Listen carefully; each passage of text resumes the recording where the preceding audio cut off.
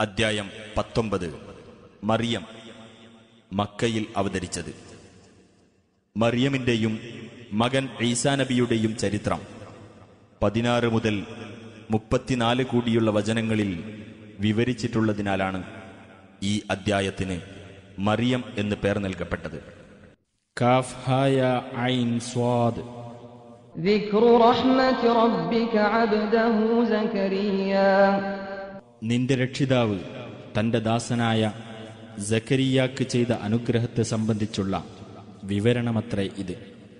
അതായത് അദ്ദേഹം തന്റെ രക്ഷിതാവിനെ പതുക്കെ വിളിച്ച് പ്രാർത്ഥിച്ച സന്ദർഭം.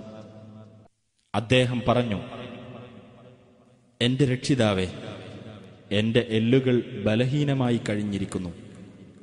തലയാണെങ്കിൽ നരച്ചു തിളങ്ങുന്നതായിരിക്കുന്നു. എന്റെ രക്ഷിതാവേ നിന്നോട് പ്രാർത്ഥിച്ചിട്ട് ഞാൻ ഭാഗ്യം കെട്ടവനായിട്ടില്ല. എനിക്ക് പുറകെ വരാനുള്ള ബന്ധുമിത്രാദികളെപ്പറ്റി എനിക്ക് ഭയമാകുന്നു. എന്റെ ഭാര്യയാണെങ്കിൽ വന്ധ്യയുമാകുന്നു. അതിനാൽ നിന്റെ പക്കൽ നിന്ന് നീ എനിക്ക് ഒരു ബന്ധുവെ അഥവാ അവകാശിയെ നൽകണമേ. എനിക്കവൻ അനന്തരാവകാശിയായിരിക്കും. യാക്കൂബ് കുടുംബത്തിനും അവൻ അനന്തരാവകാശിയായിരിക്കും. എന്റെ രക്ഷിതാവെ അവനെ നീ ഏവർക്കും തൃപ്തിപ്പെട്ടവനാക്കുകയും ചെയ്യണമേ. ഹേ ജക്കരിയ തീർച്ചയായും നിനക്ക് നാം ഒരു ആൺകുട്ടിയെപ്പറ്റി സന്തോഷവാർത്ത അറിയിക്കുന്നു.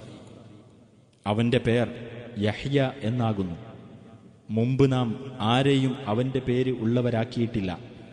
അദ്ദേഹം പറഞ്ഞു എന്റെ രക്ഷിതാവേ എനിക്കെങ്ങനെ ഒരു ആൺകുട്ടിയുണ്ടാകും? എന്റെ ഭാര്യ വന്ധ്യയാകുന്നു. ഞാനാണെങ്കിൽ വാർദ്ധക്യത്താൽ ചുക്കിച്ചുളിഞ്ഞ അവസ്ഥയിലെത്തിയിരിക്കുന്നു. അള്ളാഹു പറഞ്ഞു അങ്ങനെ തന്നെ. മുമ്പ് നീ യാതൊന്നുമല്ലാതിരുന്നപ്പോൾ നിന്നെ ഞാൻ സൃഷ്ടിച്ചിരിക്കെ. ഇത് എന്നെ സംബന്ധിച്ചിടത്തോളം ഒരു നിസ്സാര കാര്യം മാത്രമാണ് എന്ന് നിന്റെ രക്ഷിതാവ് പ്രഖ്യാപിച്ചിരിക്കുന്നു. ജക്കരിയ പറഞ്ഞു നീ എനിക്ക് ഒരു ദൃഷ്ടാന്തം ഏർപ്പെടുത്തി തരണമേ അള്ളാഹു പറഞ്ഞു നിനക്കുള്ള ദൃഷ്ടാന്തം വൈകല്യമൊന്നും ഇല്ലാത്തവനായിരിക്കെ തന്നെ. ജനങ്ങളോട് മൂന്ന് രാത്രി നീ സംസാരിക്കാതിരിക്കലാകുന്നു. അങ്ങനെ അദ്ദേഹം പ്രാർത്ഥനാ മണ്ഡപത്തിൽ നിന്ന് തന്റെ ജനങ്ങളുടെ അടുത്തേക്ക് പുറപ്പെട്ടു. എന്നിട്ട് നിങ്ങൾ രാവിലെയും വൈകുന്നേരവും അള്ളാഹുവിന്റെ പരിശുദ്ധിയെ പ്രകീർത്തിക്കുക എന്ന് അവരോട് ആംഗ്യം കാണിച്ചു. ഹേ യഹ്യ വേദഗ്രന്ഥം. ബലമായി സ്വീകരിച്ചു കൊള്ളുക എന്ന് നാം പറഞ്ഞു. കുട്ടിയായിരിക്കെ തന്നെ അദ്ദേഹത്തിന് നാം ജ്ഞാനം നൽകുകയും ചെയ്തു. നമ്മുടെ പക്കൽ നിന്നുള്ള അനുകമ്പയും പരിശുദ്ധിയും നൽകി. അദ്ദേഹം ധർമ്മനിഷ്ഠയുള്ളവനുമായിരുന്നു. തന്റെ മാതാപിതാക്കൾക്ക് നന്മ ചെയ്യുന്നവനുമായിരുന്നു. നിഷ്ഠൂരനും അനുസരണം കെട്ടവനുമായിരുന്നില്ല. അദ്ദേഹം ജനിച്ച ദിവസവും മരിക്കുന്ന ദിവസവും ജീവനോടെ എഴുന്നേൽപ്പിക്കപ്പെടുന്ന ദിവസവും അദ്ദേഹത്തിന് സമാധാനം. വേദഗ്രന്ഥത്തിൽ മറിയമിനെപ്പറ്റിയുള്ള വിവരം നീ പറഞ്ഞു കൊടുക്കുക അവൾ തന്റെ വീട്ടുകാരിൽ നിന്നകന്ന് കിഴക്കുഭാഗത്തുള്ള ഒരു സ്ഥലത്തേക്ക് മാറി താമസിച്ച സന്ദർഭം. എന്നിട്ട് അവർ കാണാതിരിക്കാൻ അവൾ ഒരു മറയുണ്ടാക്കി. അപ്പോൾ നമ്മുടെ ആത്മാവിനെ അഥവാ ജിബിരീലിനെ നാം അവളുടെ അടുത്തേക്ക് നിയോഗിച്ചു. അങ്ങനെ അദ്ദേഹം അവളുടെ മുമ്പിൽ തികഞ്ഞ മനുഷ്യരൂപത്തിൽ പ്രത്യക്ഷപ്പെട്ടു. അവൾ പറഞ്ഞു തീർച്ചയായും നിന്നിൽ നിന്ന് ഞാൻ പരമകാരുണികനിൽ ശരണം പ്രാപിക്കുന്നു. നീ ധർമ്മനിഷ്ഠയുള്ളവനാണെങ്കിൽ എന്നെ വിട്ട് മാറിപ്പോകൂ. ജിബിരിയിൽ പറഞ്ഞു പരിശുദ്ധനായ ഒരു ആൺകുട്ടിയെ നിനക്ക് ദാനം ചെയ്യുന്നതിനു വേണ്ടി നിന്റെ രക്ഷിതാവ് അയച്ച ദൂതൻ മാത്രമാകുന്നു ഞാൻ. അവൾ പറഞ്ഞു എനിക്കെങ്ങനെ ഒരാൺകുട്ടിയുണ്ടാകും? യാതൊരു മനുഷ്യനും എന്നെ സ്പർശിച്ചിട്ടില്ല. ഞാൻ ഒരു ദുർനടപടിക്കാരിയായിട്ടുമില്ല. അദ്ദേഹം പറഞ്ഞു കാര്യം അങ്ങനെ തന്നെയാകുന്നു. അത് തന്നെ സംബന്ധിച്ചിടത്തോളം നിസ്സാരമായ ഒരു കാര്യമാണെന്ന് നിന്റെ രക്ഷിതാവ് പറഞ്ഞിരിക്കുന്നു. ആ കുട്ടിയെ മനുഷ്യർക്കൊരു ദൃഷ്ടാന്തവും നമ്മുടെ പക്കൽ നിന്നുള്ള കാരുണ്യവും ആക്കാനും നാം ഉദ്ദേശിക്കുന്നു. അത് തീരുമാനിക്കപ്പെട്ട ഒരു കാര്യമാകുന്നു. അങ്ങനെ അവനെ ഗർഭം ധരിക്കുകയും എന്നിട്ട് അതുമായി അവൾ അകലെ ഒരു സ്ഥലത്ത് മാറി താമസിക്കുകയും ചെയ്തു. അങ്ങനെ പ്രസവവേദന അവളെ ഒരു ഈന്തപ്പന മരത്തിന്റെ അടുത്തേക്ക് കൊണ്ടുവന്നു. അവൾ പറഞ്ഞു ഞാൻ ഇതിനു മുമ്പ് തന്നെ മരിക്കുകയും പാടെ വിസ്മരിച്ച് തള്ളപ്പെട്ടവളാകുകയും ചെയ്തിരുന്നുവെങ്കിൽ എത്ര നന്നായിരുന്നേനെ. ഉടനെ അവളുടെ താഴ്ഭാഗത്തുനിന്ന് ഒരാൾ വിളിച്ചു പറഞ്ഞു നീ വ്യസനിക്കേണ്ട. നിന്റെ താഴ്ഭാഗത്ത് ഒരു അരുവി ഉണ്ടാക്കി തന്നിരിക്കുന്നു. നീ ഈന്തപ്പനമരം നിന്റെ അടുക്കലേക്ക് പിടിച്ചു കുലുക്കിക്കൊള്ളുക. അത് നിനക്ക് പാകമായ ഈന്തപ്പഴം വീഴ്ത്തിത്തരുന്നതാണ് അങ്ങനെ നീ തിന്നുകയും കുടിക്കുകയും കണ്ണു കുളിർത്തിരിക്കുകയും ചെയ്യുക. ഇനി നീ മനുഷ്യരിൽ ആരെയെങ്കിലും കാണുന്ന പക്ഷം ഇപ്രകാരം പറഞ്ഞേക്കുക. പരമകാരുണികനു വേണ്ടി ഞാൻ ഒരു വ്രതം നേർന്നിരിക്കുകയാണ്. അതിനാൽ ഇന്നു ഞാൻ ഒരു മനുഷ്യനോടും സംസാരിക്കുകയില്ല തന്നെ. അനന്തരം കുട്ടിയെയും വഹിച്ചുകൊണ്ട് അവൾ തന്റെ ആളുകളുടെ അടുത്ത് ചെന്നു. അവർ പറഞ്ഞു മറിയമേ ആക്ഷേപകരമായ ഒരു കാര്യം തന്നെയാകുന്നു നീ ചെയ്തിരിക്കുന്നത്. ഹേ ഹാറൂന്റെ സഹോദരി നിന്റെ പിതാവ് ഒരു ചീത്ത മനുഷ്യനായിരുന്നില്ല. നിന്റെ മാതാവ് ഒരു ദുർനടപടിക്കാരിയുമായിരുന്നില്ല. അപ്പോൾ അവൾ അവന്റെ നേരെ ചൂണ്ടിക്കാണിച്ചു. അവർ പറഞ്ഞു തൊട്ടിലിലുള്ള ഒരു കുട്ടിയോട് ഞങ്ങൾ എങ്ങനെ സംസാരിക്കും? കുട്ടി പറഞ്ഞു ഞാൻ അള്ളാഹുവിന്റെ ദാസനാകുന്നു. അവൻ എനിക്ക് വേദഗ്രന്ഥം നൽകുകയും എന്നെ അവൻ പ്രവാചകനാക്കുകയും ചെയ്തിരിക്കുന്നു. ഞാൻ എവിടെയായിരുന്നാലും എന്നെ അവൻ അനുഗ്രഹീതനാക്കിയിരിക്കുന്നു. ഞാൻ ജീവിച്ചിരിക്കുന്ന കാലമത്രയും നമസ്കരിക്കുവാനും ജക്കാത്ത് നൽകുവാനും അവൻ എന്നോട് അനുശാസിക്കുകയും ചെയ്തിരിക്കുന്നു. അവൻ എന്നെ എന്റെ മാതാവിനോട് നല്ല നിലയിൽ പെരുമാറുന്നവനും ആക്കിയിരിക്കുന്നു. അവൻ എന്നെ നിഷ്ഠൂരനും ഭാഗ്യം കെട്ടവനുമാക്കിയിട്ടില്ല. ഞാൻ ജനിച്ച ദിവസവും മരിക്കുന്ന ദിവസവും ജീവനോടെ എഴുന്നേൽപ്പിക്കപ്പെടുന്ന ദിവസവും എന്റെ മേൽ ശാന്തിയുണ്ടായിരിക്കും. അതത്രേ മറിയമിന്റെ മകനായ ഈസ. അവർ ഏതൊരു വിഷയത്തിൽ തർക്കിച്ചുകൊണ്ടിരിക്കുന്നുവോ അതിനെപ്പറ്റിയുള്ള യഥാർത്ഥമായ വാക്കത്രേ ഇത്. ഒരു സന്താനത്തെ സ്വീകരിക്കുക എന്നത് അള്ളാഹുവിനുണ്ടാകാവുന്നതല്ല. അവൻ എത്ര പരിശുദ്ധൻ. അവൻ ഒരു കാര്യം തീരുമാനിച്ചു കഴിഞ്ഞാൽ അതിനോട് ഉണ്ടാകൂ എന്ന് പറയുക മാത്രം ചെയ്യുന്നു. അപ്പോൾ അതുണ്ടാകുന്നു. ഈസ പറഞ്ഞു തീർച്ചയായും അള്ളാഹു എന്റെയും നിങ്ങളുടെയും രക്ഷിതാവാകുന്നു. അതിനാൽ അവനെ നിങ്ങൾ ആരാധിക്കുക. ഇതത്രേ നേരെയുള്ള മാർഗം. എന്നിട്ട് അവർക്കിടയിൽ നിന്ന് കക്ഷികൾ ഭിന്നിച്ചുണ്ടായി. അപ്പോൾ അവിശ്വസിച്ചവർക്കത്രേ ഭയങ്കരമായ ഒരു ദിവസത്തിന്റെ സാന്നിധ്യത്താൽ വമ്പിച്ച നാശം. അവർ നമ്മുടെ അടുത്തു വരുന്ന ദിവസം അവർക്ക് എന്തൊരു കേൾവിയും കാഴ്ചയുമായിരിക്കും. പക്ഷേ ഇന്ന് ആ അക്രമികൾ പ്രത്യക്ഷമായ വഴികേടിലാകുന്നു. നഷ്ടബോധത്തിന്റെ ദിവസത്തെപ്പറ്റി അഥവാ കാര്യം അന്തിമമായി തീരുമാനിക്കപ്പെടുന്ന സന്ദർഭത്തെപ്പറ്റി നീ അവർക്ക് താക്കീത് നൽകുക. അവർ അശ്രദ്ധയിൽ അകപ്പെട്ടിരിക്കുകയാകുന്നു അവർ വിശ്വസിക്കുന്നില്ല. തീർച്ചയായും നാം തന്നെയാണ് ഭൂമിയുടെയും അതിലുള്ളവയുടെയും അനന്തരാവകാശിയാകുന്നത്. നമ്മുടെ അടുക്കലേക്ക് തന്നെയായിരിക്കും അവർ മടക്കപ്പെടുന്നത്. വേദഗ്രന്ഥത്തിൽ ഇബ്രാഹീമിനെ പറ്റിയുള്ള വിവരം നീ പറഞ്ഞു കൊടുക്കുക തീർച്ചയായും അദ്ദേഹം സത്യവാനും പ്രവാചകനുമായിരുന്നു. അദ്ദേഹം തന്റെ പിതാവിനോട് പറഞ്ഞ സന്ദർഭം ശ്രദ്ധേയമാകുന്നു. എന്റെ പിതാവെ കേൾക്കുകയോ കാണുകയോ ചെയ്യാത്ത താങ്കൾക്ക് യാതൊരു ഉപകാരവും ചെയ്യാത്ത വസ്തുവിനെ താങ്കൾ എന്തിനാരാധിക്കുന്നു? എന്റെ പിതാവെ തീർച്ചയായും താങ്കൾക്ക് വന്നു കിട്ടിയിട്ടില്ലാത്ത അറിവ് എനിക്ക് വന്നു കിട്ടിയിട്ടുണ്ട്. ആകയാൽ താങ്കൾ എന്നെ പിന്തുടരൂ. ഞാൻ താങ്കൾക്ക് ശരിയായ മാർഗം കാണിച്ചു തരാം. എന്റെ പിതാവെ താങ്കൾ പിശാജിനെ ആരാധിക്കരുത്. തീർച്ചയായും പിശാജ് പരമകാരുണികനോട് അനുസരണമില്ലാത്തവനാകുന്നു. എന്റെ പിതാവെ തീർച്ചയായും പരമകാരുണികനിൽ നിന്നുള്ള വല്ല ശിക്ഷയും താങ്കളെ ബാധിക്കുമെന്ന് ഞാൻ ഭയപ്പെടുന്നു. അപ്പോൾ താങ്കൾ പിശാജിന്റെ മിത്രമായിരിക്കുന്നതാണ്. അയാൾ പറഞ്ഞു ഹേ ഇബ്രാഹിം നീ എന്റെ ദൈവങ്ങളെ വേണ്ടെന്ന് വെക്കുകയാണോ? നീ ഇതിൽ നിന്ന് വിരമിക്കുന്നില്ലെങ്കിൽ ഞാൻ നിന്നെ കല്ലെറിഞ്ഞോടിക്കുക തന്നെ ചെയ്യും. കുറെ കാലത്തേക്ക് നീ എന്നിൽ നിന്ന് വിട്ടുമാറിക്കൊള്ളണം. ഇബ്രാഹിം പറഞ്ഞു താങ്കൾക്ക് സലാം. താങ്കൾക്കു വേണ്ടി ഞാൻ എന്റെ രക്ഷിതാവിനോട് പാപമോചനം തേടാം. തീർച്ചയായും അവൻ എന്നോട് ദയയുള്ളവനാകുന്നു. നിങ്ങളെയും അള്ളാഹുവിന് പുറമെ നിങ്ങൾ പ്രാർത്ഥിച്ചു വരുന്നവയെയും ഞാൻ വെടിയുന്നു. എന്റെ രക്ഷിതാവിനോട് ഞാൻ പ്രാർത്ഥിക്കുന്നു. എന്റെ രക്ഷിതാവിനോട് പ്രാർത്ഥിക്കുന്നത് മൂലം ഞാൻ ഭാഗ്യം കെട്ടവനാകാതിരുന്നേക്കാം. അങ്ങനെ അവരെയും അള്ളാഹുവിന് പുറമെ അവർ ആരാധിക്കുന്നവയെയും വെടിഞ്ഞ് അദ്ദേഹം പോയപ്പോൾ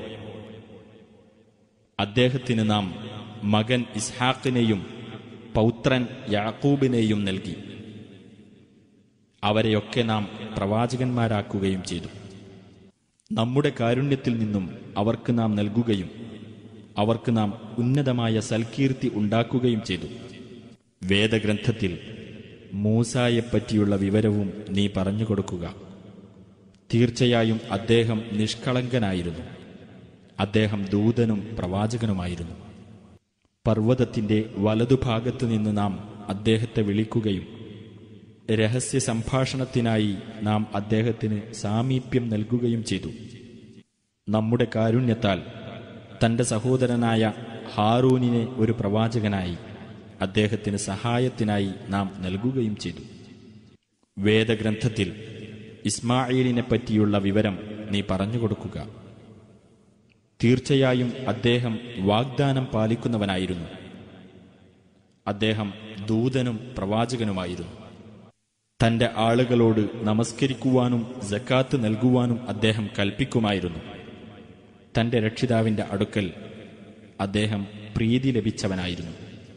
വേദഗ്രന്ഥത്തിൽ ഇദ്രീസിനെ പറ്റിയുള്ള വിവരം നീ പറഞ്ഞുകൊടുക്കുക തീർച്ചയായും അദ്ദേഹം സത്യവാനും പ്രവാചകനുമായിരുന്നു.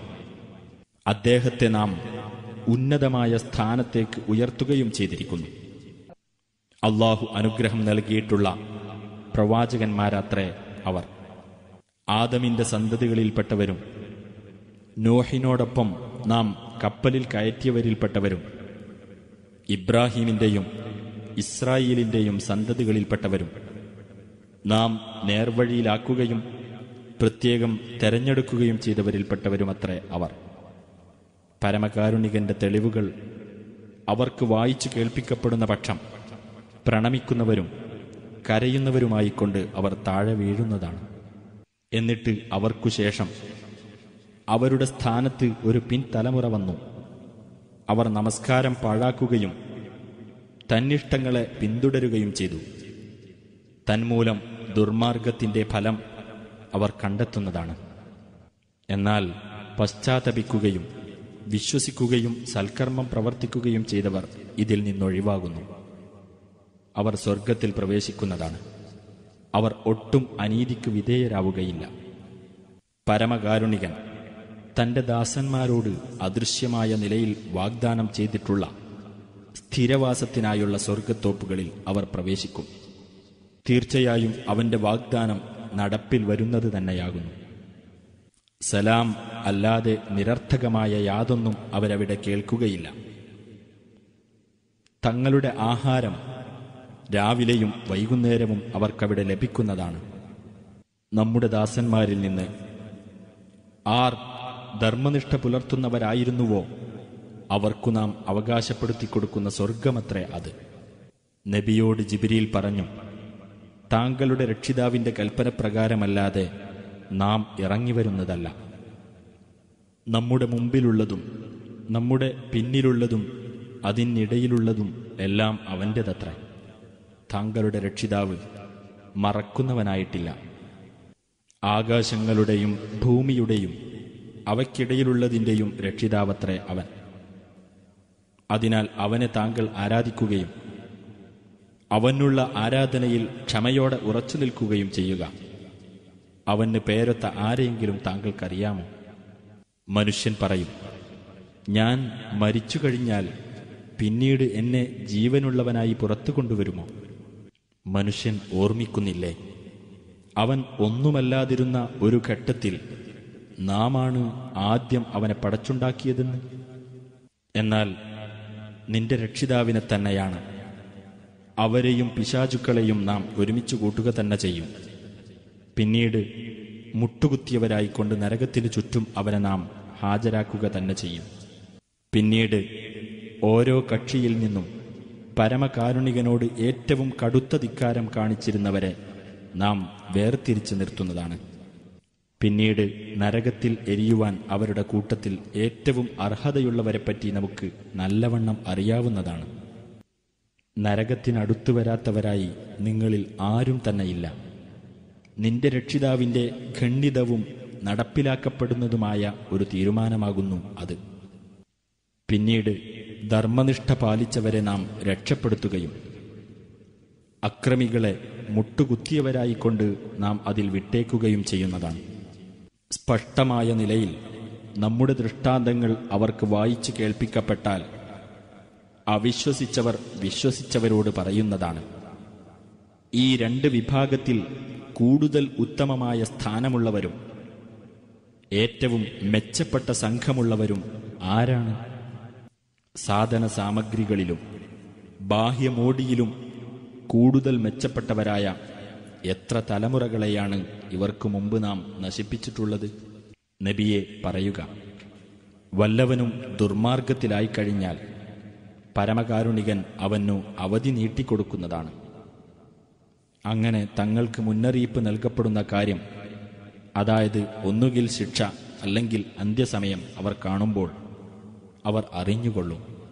കൂടുതൽ മോശമായ സ്ഥാനമുള്ളവരും കൂടുതൽ ദുർബലരായ സൈന്യവും ആരാണെന്ന്. സന്മാർഗം സ്വീകരിച്ചവർക്ക് അള്ളാഹു സന്മാർഗനിഷ്ഠ വർദ്ധിപ്പിച്ചു കൊടുക്കുന്നതാണ്. നിലനിൽക്കുന്ന സൽക്കർമ്മങ്ങളാണ് നിന്റെ രക്ഷിതാവിങ്കൽ. ഉത്തമമായ പ്രതിഫലമുള്ളതും ഉത്തമമായ പരിണാമമുള്ളതും. എന്നാൽ നമ്മുടെ ദൃഷ്ടാന്തങ്ങളിൽ അവിശ്വസിക്കുകയും എനിക്ക് സമ്പത്തും സന്താനവും നൽകപ്പെടുക തന്നെ ചെയ്യും എന്ന് പറയുകയും ചെയ്തവനെ നീ കണ്ടുപോ അദൃശ്യകാര്യം അവൻ കണ്ടറിഞ്ഞിട്ടുണ്ടോ? അതല്ലെങ്കിൽ പരമകാരുണികന്റെ അടുത്ത് അവൻ വല്ല കരാറുമുണ്ടാക്കിയിട്ടുണ്ടോ അല്ല അവൻ പറയുന്നത് നാം രേഖപ്പെടുത്തുകയും അവന് ശിക്ഷ കൂട്ടിക്കൊടുക്കുകയും ചെയ്യും. അവൻ ആ പറയുന്നതിനെല്ലാം അഥവാ സ്വത്തിനും സന്താനത്തിനുമെല്ലാം നാം ആയിരിക്കും അനന്തരാവകാശിയാകുന്നത്. അവൻ ഏകനായിക്കൊണ്ട് നമ്മുടെ അടുത്തു വരികയും ചെയ്യും. അള്ളാഹുവിന് പുറമെ അവർ ദൈവങ്ങളെ സ്വീകരിച്ചിരിക്കുകയാണ്. അവർ ഇവർക്ക് പിൻബലമാകുന്നതിനു വേണ്ടി. അല്ല ഇവർ ആരാധന നടത്തിയ കാര്യം തന്നെ അവർ നിഷേധിക്കുകയും അവർ ഇവർക്ക് എതിരായി തീരുകയും ചെയ്യുന്നതാണ്. സത്യനിഷേധികളുടെ നേർക്ക് അവരെ ശക്തിയായി ഇളക്കിവിടാൻ വേണ്ടി നാം പിശാചുക്കളെ അയച്ചുവിട്ടിരിക്കുകയാണെന്ന് നീ കണ്ടില്ലേ അതിനാൽ അവരുടെ കാര്യത്തിൽ നീ തിടുക്കം കാണിക്കേണ്ട അവർക്കായി നാം നാളുകൾ എണ്ണി എണ്ണിക്കൊണ്ടിരിക്കുക മാത്രമാകുന്നു Please subscribe my channel at the rate Kabir MK360 for more videos. Enable bell icon. ധർമ്മനിഷ്ഠയുള്ളവരെ വിശിഷ്ടാതിഥികൾ എന്ന നിലയിൽ പരമകാരുണികന്റെ അടുത്തേക്ക് നാം വിളിച്ചു കൂട്ടുന്ന ദിവസം. കുറ്റവാളികളെ ദാഹാർത്ഥരായ നിലയിൽ നരകത്തിലേക്ക് നാം തെളിച്ചു കൊണ്ടുപോകുകയും ചെയ്യുന്ന ദിവസം. ആർക്കും ശുപാർശ ചെയ്യാൻ അധികാരമുണ്ടായിരിക്കുകയില്ല. പരമകാരുണികനുമായി കരാറുണ്ടാക്കിയിട്ടുള്ളവനൊഴികെ. പരമകാരുണികൻ ഒരു സന്താനത്തെ സ്വീകരിച്ചിട്ടുണ്ടെന്ന് അവർ പറഞ്ഞിരിക്കുന്നു. അപ്രകാരം പറയുന്നവരെ തീർച്ചയായും നിങ്ങൾ ചെയ്തിരിക്കുന്നത് ഗുരുതരമായ ഒരു കാര്യമാകുന്നു. അതുനിമിത്തം ആകാശങ്ങൾ പൊട്ടിപ്പിളരുകയും ഭൂമി വിണ്ടുകീറുകയും പർവതങ്ങൾ തകർന്നു വീഴുകയും ചെയ്യുമാറാകും. അതെ പരമകാരുണികന് സന്താനമുണ്ടെന്ന് അവർ വാദിച്ചതു നിമിത്തം സന്താനത്തെ സ്വീകരിക്കുക എന്നത് പരമകാരുണികന് അനുയോജ്യമാവുകയില്ല. ആകാശങ്ങളിലും ഭൂമിയിലുമുള്ള ഏതൊരാളും ഒരു ദാസനെന്ന നിലയിൽ പരമകാരുണികന്റെ അടുത്ത് വരുന്നവൻ മാത്രമായിരിക്കും. തീർച്ചയായും അവരെ അവൻ തിട്ടപ്പെടുത്തുകയും എണ്ണിക്കണക്കാക്കുകയും ചെയ്തിരിക്കുന്നു. അവരോരോരുത്തരും ഉയർത്തെഴുന്നേൽപ്പിന്റെ നാളിൽ ഏകാഗിയായിക്കൊണ്ട് അവന്റെ അടുക്കൽ വരുന്നതാണ്. വിശ്വസിക്കുകയും സൽക്കർമ്മങ്ങൾ പ്രവർത്തിക്കുകയും ചെയ്തവരാരോ? അവർക്ക് പരമകാരുണികൻ സ്നേഹമുണ്ടാക്കി കൊടുക്കുന്നതാണ് തീർച്ച. ഈ ഖുർആൻ നിന്റെ ഭാഷയിൽ നാം ലളിതമാക്കി തന്നിരിക്കുന്നത് ധർമ്മനിഷ്ഠയുള്ളവർക്ക് ഇതു മുഖേന നീ സന്തോഷവാർത്ത നൽകുവാനും മർക്കടമുഷ്ടിക്കാരായ ആളുകൾക്ക് ഇതു മുഖേന നീ താക്കീത് നൽകുവാനും വേണ്ടി മാത്രമാകുന്നു. ഇവർക്കു മുമ്പ് എത്ര തലമുറകളെ നാം നശിപ്പിച്ചിട്ടുണ്ട്. അവരിൽ നിന്ന് ആരെയെങ്കിലും നീ കാണുന്നുണ്ടോ? അഥവാ അവരുടെ നേരിയ ശബ്ദമെങ്കിലും നീ കേൾക്കുന്നുണ്ടോ?